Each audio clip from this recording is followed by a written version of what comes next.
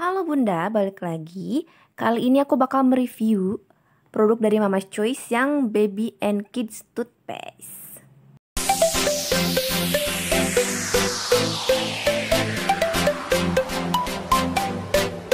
Untuk pasta giginya sendiri ini tersedia di dua varian, dua rasa.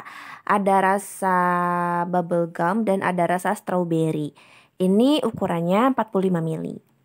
Nah, untuk klaim dari Mama's Choice toothpaste ini yang pertama itu dapat digunakan oleh bayi usia 6 bulan ke atas dan juga oleh anak usia 3 tahun ke atas.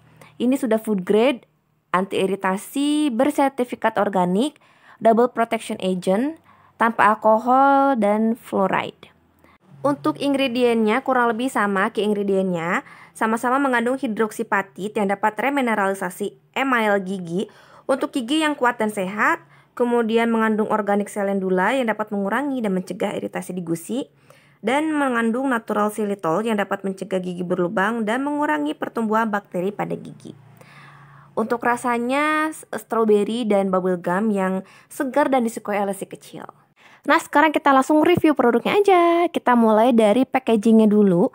Untuk packagingnya seperti ini Ini sama kurang lebih ya packagingnya. Kita mulai dari yang strawberry dulu. Di sini ada klaimnya Terus ada flavornya dan ini sudah halal. Di bagian sampingnya ada Mama's Choice Terus di belakangnya ada deskripsi produk. Ini cocok untuk bayi dan anak-anak di sini ada deskripsinya, terus ada uh, kayak pengingat.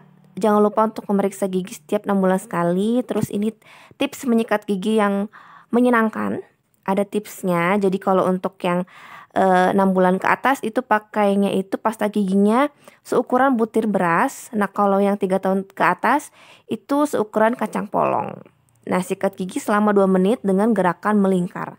Kumur dengan air bersih, sikat gigi pada pagi dan malam hari. Dan di sebelah sini ada ingredientnya, ada xylitol yang dapat mencegah uh, kerusakan gigi. Terus juga ada hidroksipatit, selendula dan strawberry. Di sini ada ingredient dan di sini ada klaimnya. Terus ada expired date.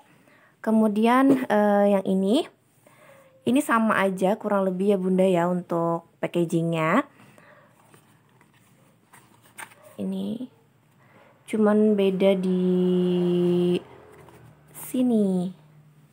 Bubble gumnya sisanya sama. Ini karena sama aku buka salah satu aja.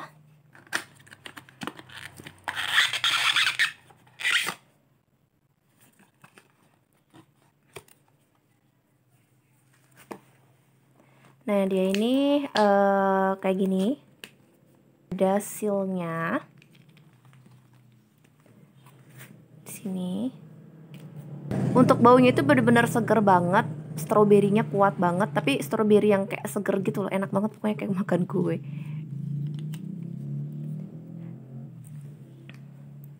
Kita lihat di sini. Nah ini teksturnya seperti ini.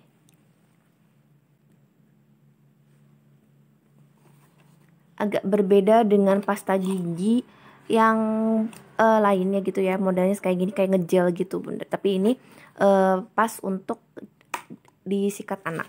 Kesimpulannya pasta gigi ini bagus rasanya enak dan anak-anak suka untuk uh, menggunakan pasta gigi ini. Ini rekomend banget meskipun harganya lah memang ya standar dari pasta gigi bayi ya. Itu memang agak pricey tapi ini bagus dan isinya banyak 45 gram. Jadi ini rekomend banget. Oke sekian saja untuk review kali ini, see you!